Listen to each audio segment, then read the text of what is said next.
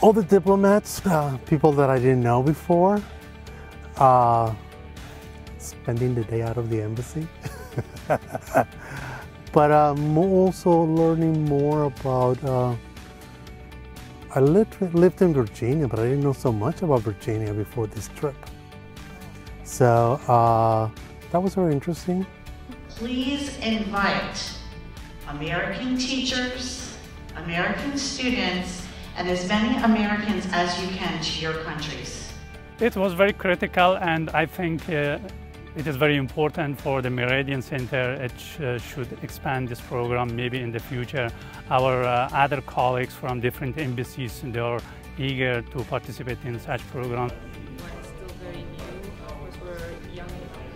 I confirmed a lot of things, and that's very valuable. Uh, it's not the same when you read about something, when you watch it in the news, get a newspaper, but when you hear from the people who are on a daily basis dealing with the issues.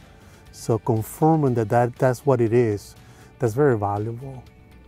Bottom line, we're looking for the same in any one of our countries.